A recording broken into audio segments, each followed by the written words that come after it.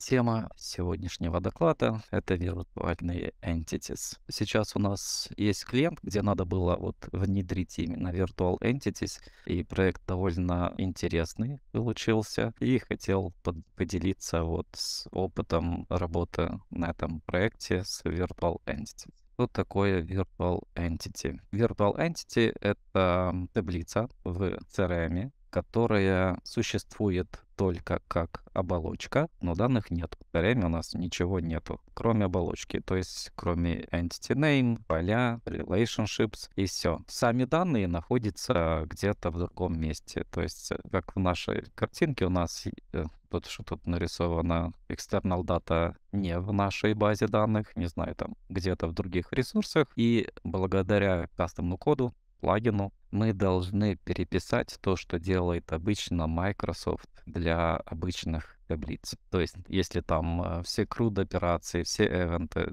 retrieve, retrieve multiple и тому подобное, create, update и так далее, все это в обычных таблицах Microsoft дает за нас, делает за нас для Virtual Entity, мы это должны сделать. Почему? Ну, все довольно, ну, все довольно просто, потому что external data может быть разные сорсы. То есть на все случаи жизни нету провайдеров у Microsoft, хотя у них есть там какие-то уже самописанные провайдеры, где вроде можно только подключить их, там пару правил, как должны наши поля называться и как их настроить, и тогда оно бы работало. Но этот сценарий мало используется, потому что вряд ли кто-то будет менять свою структуру базы данных для того, чтобы интегрировать Virtual Entities в CRM. Поэтому приходится писать кастомные плагины. Дальше. Когда нам надо использовать, когда мы можем использовать Virtual Entities, это дата интеграции. Допустим, у нас куча систем, и вот как на этом клиенте, у него и Azure Search, и данные находятся и на Azure, и на этом Cosmos Database. И тут в CRM он, в Dynamics, он хотел использовать маркетинг. То есть очень много систем, и он их агрегировал в одну, и тут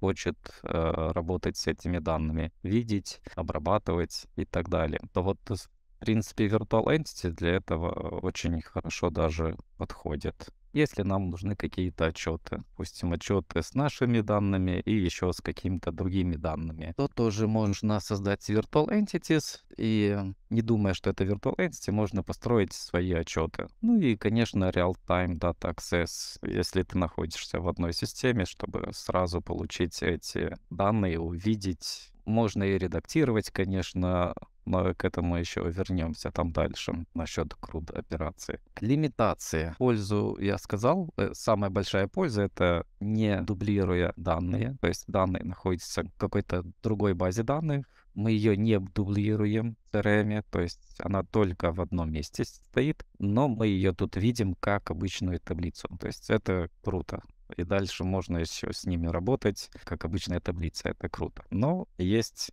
много лимитаций. Лимитации — это комплексные критерии. Что это значит? Эм, если в CRM мы привыкли, что мы можем там делать фильтрацию с linked entity, там добавить оры, энды и все, что хочешь в этом Advanced Find или Advanced Filter сейчас новый. Для Azure для Virtual Entities, в принципе, это возможно, но ограничение большое сам source. Если source не позволяет, допустим, использовать метод contains, то, соответственно, мы тоже не можем этот advanced filter использовать метод contains. Хотя клиент сможет выбрать в advanced filter contains, но не будет работать. К примеру, у нас есть на этом проекте лимитация case sensitive, то есть мы привыкли в CRM писать большими, маленькими буквами, и оно будет работать. Даже не думаем об этом. А Azure Search, у нас есть там пару таблиц из Azure Search, он не позволяет. То есть ему надо прописать конкретно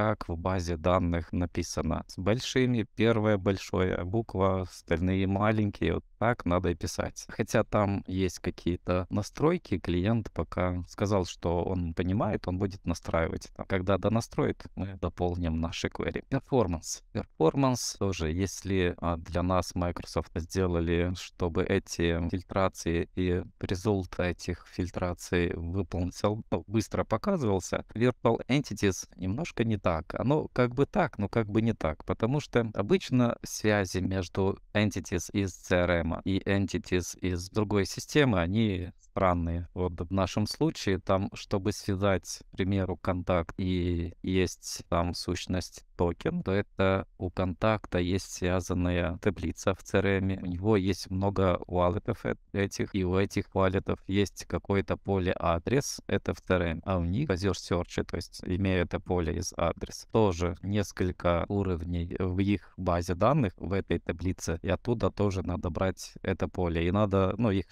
сопоставить. Вот именно работа вот из-за того, что там нельзя написать Direct Query, надо брать все из CRM, все из другой базы данных, сопоставить их и делать потом какие-то манипуляции. Это, это просто, это очень плохо. Я покажу, там есть у нас вот этот именно токены. Нажимаешь на Virtual Entity токены, и можно пойти пить кофе, прийти, и у тебя результат есть. Virtual Entity — это Organization таблица, то есть там доступ или ты имеешь, или не имеешь к этой таблице. То есть делать какие-то security модели на них нельзя. Ну, нельзя по стандарту, вот как мы строим для обычных таблиц, что можно own таблицу иметь и добавить там всякие роля, security роля тут так нельзя. CRUD операции, то есть create нельзя делать, delete нельзя делать, update нельзя делать. Даже вот что странно, если открыть virtual entity, она read-only, там страница read-only, и у нас есть эта утилита level up, которая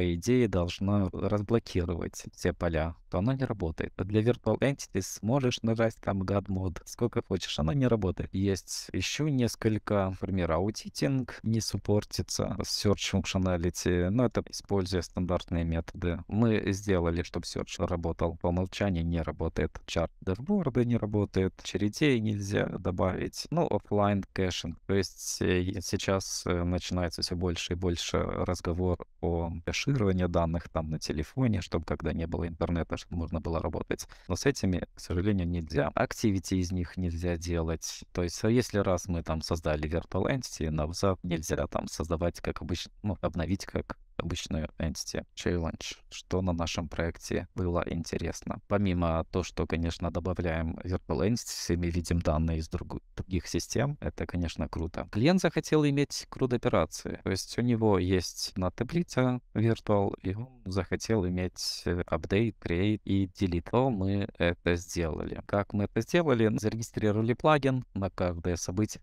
э, плагин action, написали action на каждое событие, create, update и delete delete. И добавили в ribbon другие кнопки, ну, тоже похожие там на сохранение, delete, на удаление. И при нажатии этой кнопки вызывается action, и action ловим в плагине. Дальше плагин, имея какие-то параметры из этого экшена, к примеру, на удаление. Что нам на удаление надо? Надо айдишник записи. Окей, значит, есть айдишник записи. Дальше, имея всякие креды, делаем запрос на удаление записи в external source. И еще чтобы изменить поля, то мы написали там на форме, спрятали все поля, которые там предоставляет нам по умолчанию Microsoft, и добавили веб-ресурс. Несколько табов, несколько веб-ресурсов, и эти веб-ресурсы показывают, а я сейчас покажу, а, показывают данные, которые имеют поля этого за записи. Дальше. Надо было добавить Virtual Entity в маркетинг. Ну, в маркетинг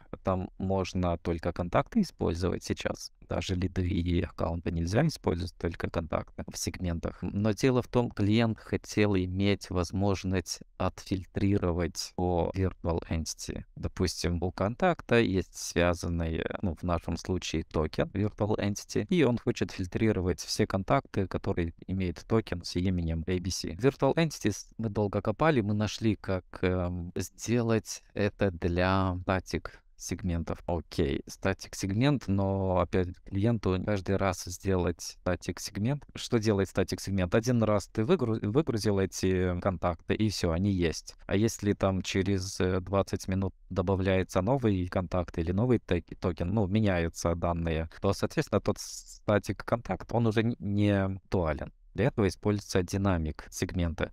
И вот в динамик сегменты сделали свою бэк-логику которому мы не имеем доступ. И они там делают не обычный retrieve multiple, который у нас написан в плагине, а как-то они делают. То, что мы сделали, сделали один сервис, который там раз 15 минут обновляет данные в этом статик сегмент. Плюс еще мы добавили, тоже был хороший челлендж, мы сделали этот advanced фильтр, то нарисовали еще раз, чтобы клиент мог там кликать как в CRM. Дальше manage complex object in one virtual entity. Обычно вот, если кто знает, что такое база данных и relation базы данных типа SQL, то у нас есть таблица и связи между ними. Ну, то, что нам, к примеру, выдает Azure Search, выдает JSON-объект. И в этом объекте может находиться другой объект, или еще, еще хуже, в этом объекте находится список других объектов, а мы все это должны показывать в одну Virtual Entity. То, в принципе, с этим мы тоже разобрались. Мы сделали что же через э, custom код, а через э, веб-ресурс, я покажу, то сделали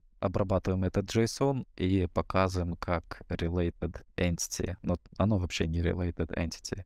Это просто JSON хранится. Так, и еще одно из ограничений. Вот если вернуться к этим же токенам, у них есть родитель на контакт. И клиент хочет, помимо имени контакта, иметь возможность э, вывести колонку в еще пару колонок, к примеру, телефон, e-mail этого контакта, то этого нельзя делать. Пока что у нас есть открытый тикет у Microsoft, и ждем ответа, это вообще невозможно или мы что-то не так делаем. Поэтому еще не разобрались.